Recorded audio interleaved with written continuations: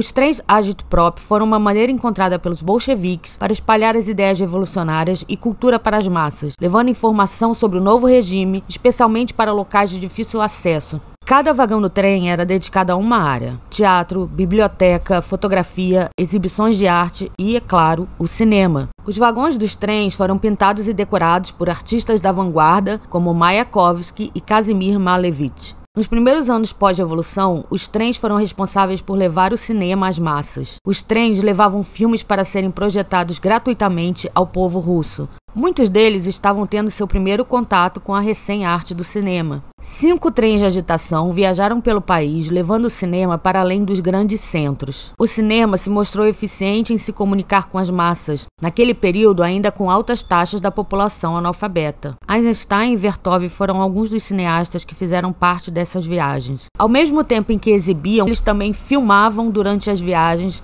realizando novos filmes. Um vagão com laboratório foi construído para que os novos filmes pudessem ser revelados durante a viagem. O trem Revolução de Outubro, do qual fez parte de Ziga Vertov, foi um dos mais ativos, fazendo 12 viagens entre 1919 e 1920. Realizaram por volta de 430 projeções de cinema para milhares de pessoas. No pico das atividades, em apenas dois meses, chegaram a organizar 97 sessões de cinema para um público estimado de 100 mil espectadores. O jovem de Ziga Vertov foi convocado para coordenar a divisão de cinema e foto dos trens de agitação. Durante as viagens, Vertov Vertov filmou 43 edições de sua série de noticiários. Vertov escreveu em seu diário sobre as exibições.